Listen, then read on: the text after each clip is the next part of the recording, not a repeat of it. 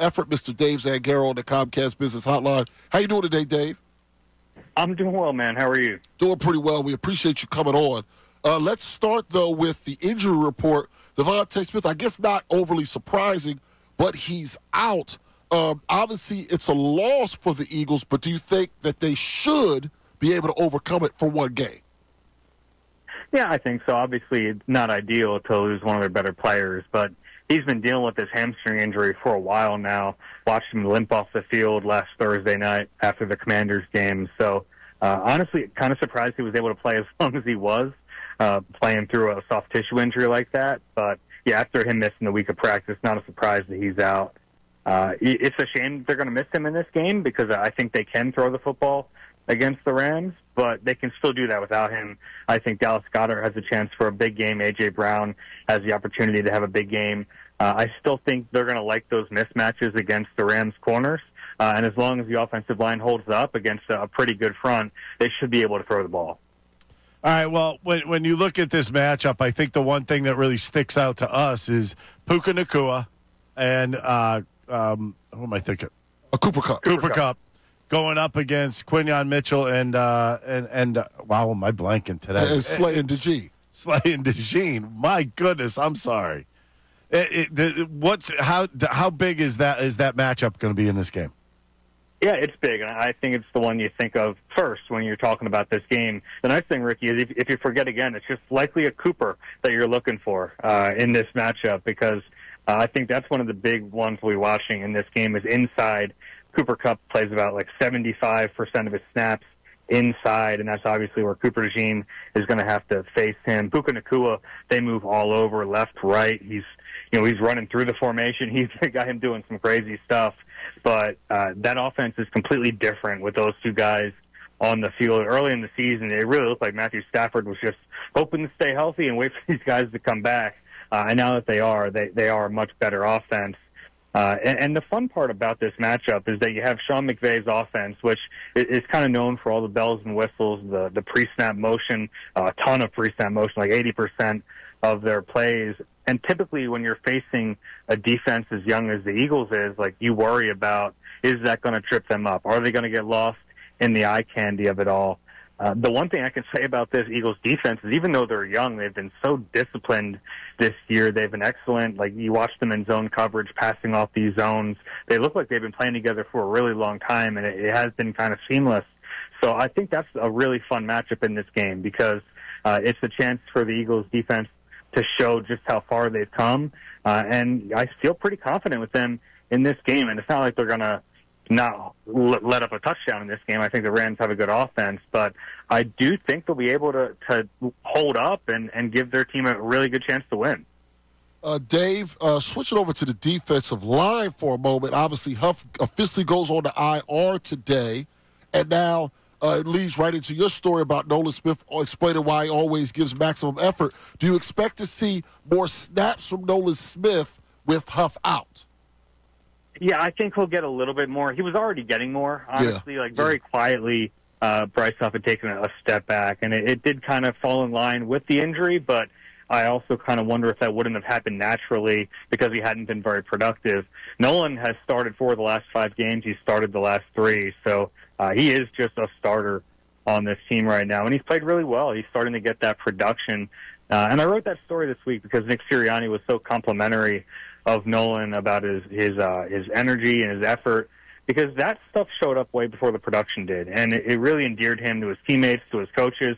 I mean, you watch him play. I mean, you watch the tape. Like he's in plays that he shouldn't be in. You know, it's it's a play that's 20 yards away from him, and by the end of the play, he's in the frame. So uh, he always gives max effort, and it's starting to pay off a little bit. He's starting to turn a corner. He had that nice sack against Washington on third down a, a week and a half ago. That was a big play for him. He's already up to three and a half sacks, which, uh, if you remember, guys, he was not super productive in college. His, his season high in at Georgia was three and a half sacks. So it's a good sign for him that he's able to produce.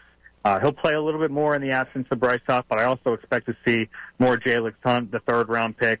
Really raw player, but they like him behind the scenes.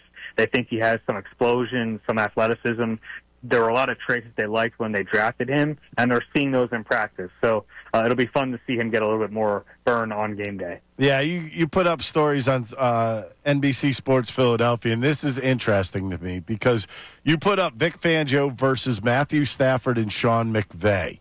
Why don't you explain to us what you mean by that?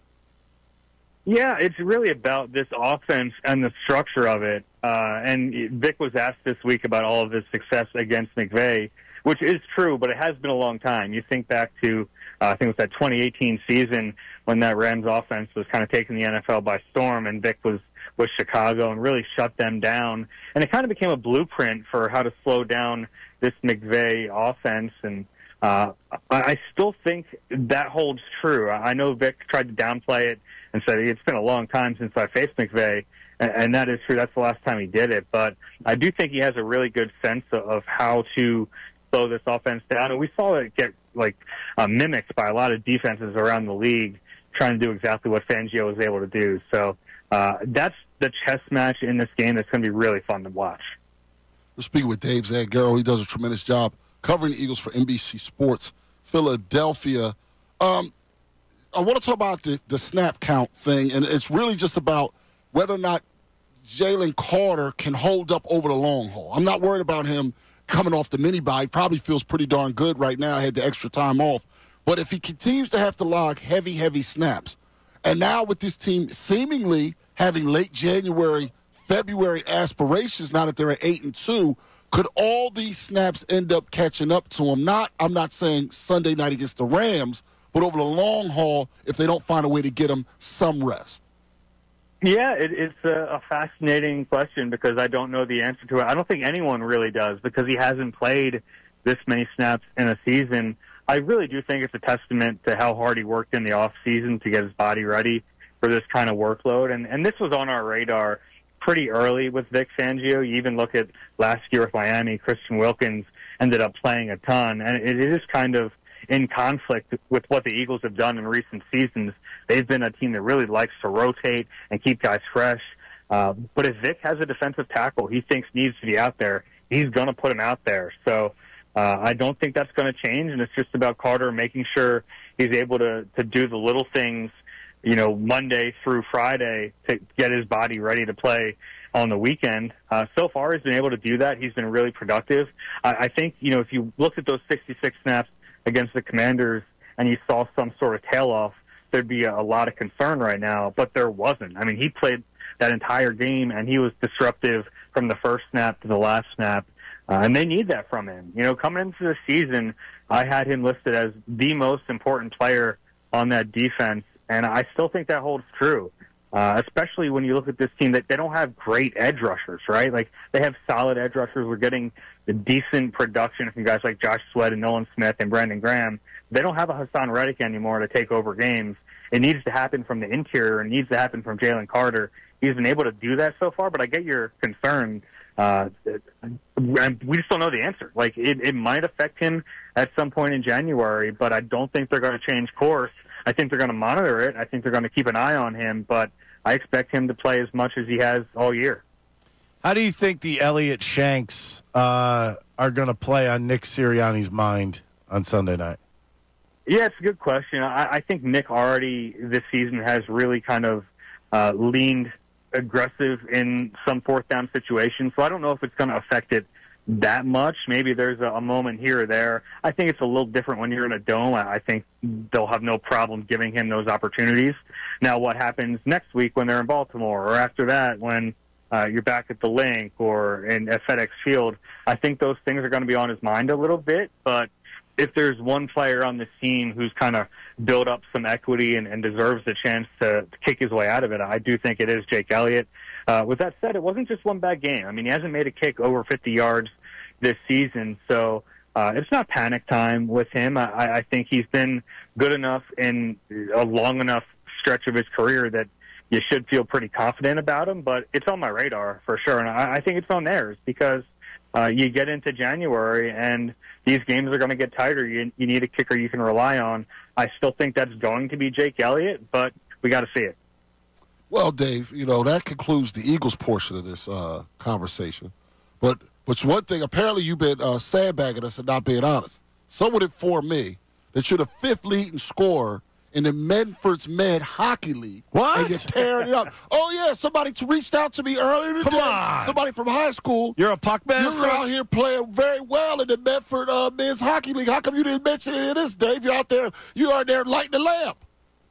Yeah, you know, guys, I don't have a lot of concern about Jalen Carter's health. I have a lot of concern about my health uh, and making it through a season. The hamstring injuries don't get any easier as you get older. Uh, mostly my warm ups these days are just stretching, just stretch until it's time to to play the game. And if I do that, I might be okay. I'm, I'm just kind of psyched for you. Yeah, you got heard- yourself oh, yeah. out on the ice. Man, it's on the. They got a whole website going where they have the statistics posted.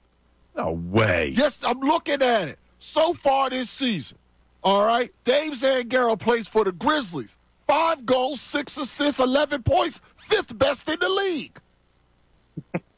What is this? appreciate what, what- what is this, Dave? What is this? Dave, Apparently- you're a lamplighter. Lead, lead the league is Zach Sawyer, also of the Grizzlies, with 17 goals and 12 assists. But fifth, look at you. You're like a line two guy out there, Dave. We didn't even know that. In all seriousness, that's pretty cool. That's Um, awesome. Safe travels out to L.A., um, and uh, we'll talk to you ne- um, next week. All right, guys, take care. I appreciate it. That's Dave Zangaro on the Comcast Business Hotline.